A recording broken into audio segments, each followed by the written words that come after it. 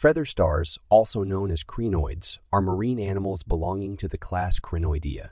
They are ancient creatures with fossil evidence dating back over 350 million years. Despite their name, feather stars are not true starfish. They are distant relatives of sea stars and sea urchins belonging to the phylum Echinodermata. These fascinating creatures have a distinct appearance characterized by feathery, radiating arms that they use for feeding and locomotion. Feather stars are filter feeders, capturing plankton and other small particles from the water using specialized tube feet called pinnulas that line their arms. They are capable of remarkable movement, using their flexible arms to crawl, swim, and even attach themselves to substrates. Feather stars often exhibit vibrant colors, making them visually stunning inhabitants of coral reefs and other marine environments.